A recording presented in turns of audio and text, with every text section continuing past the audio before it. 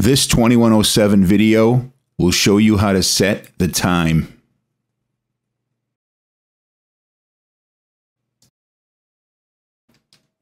The time needing to be set is 1049 to 1050 a.m.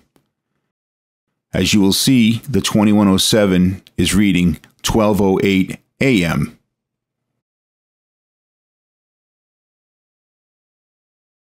Find the clock button in the center of the keypad at the top, press and hold the clock button as you turn the blue dial to the right of the screen until the desired time has been reached. We need to set this time to 1049 or 1050 a.m. Making sure the day setting a.m. and the night setting p.m. have been set correctly.